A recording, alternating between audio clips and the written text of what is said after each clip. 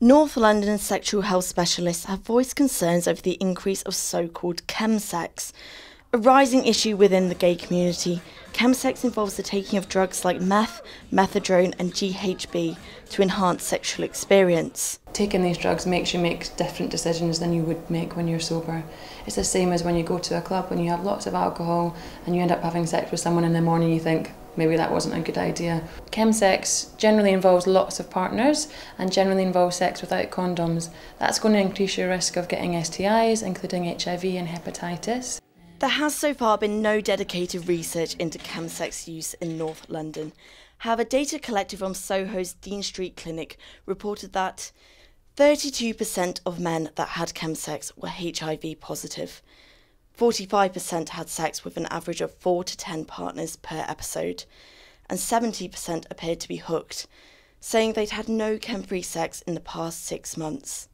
Some local support groups are concerned that more and more gay men are seeing chem sex as the norm. For some people, it's their first access to the scene.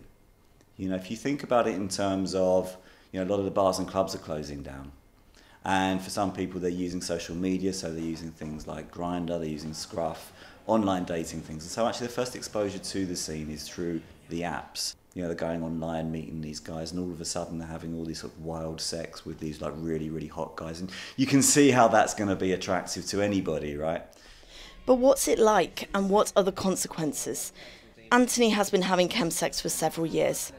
He agreed to talk to us anonymously.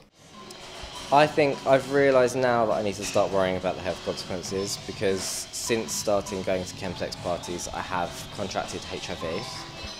I mean, I've lost friends that have taken too many of these drugs at these chill outs.